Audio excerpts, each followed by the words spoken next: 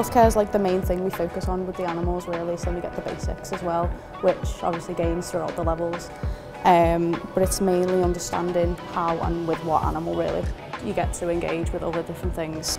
But it's mainly making sure that you're keeping them healthy.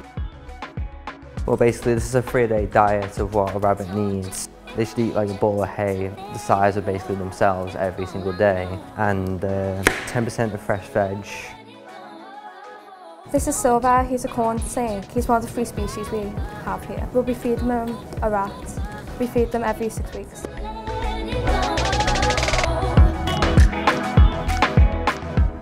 So when we get the snakes out to health check them, we check for their eyes. So before we get them out, we'll check their eyes, to see if they're cloudy. And if they're cloudy, it's a sign they're shedding and we shouldn't handle them. Uh, we'll check their noses and like the vents and stuff around their mouth. And you can just check the scales over to make sure there's one missing or damaged.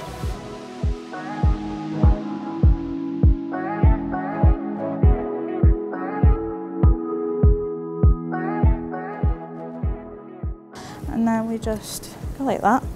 And there you go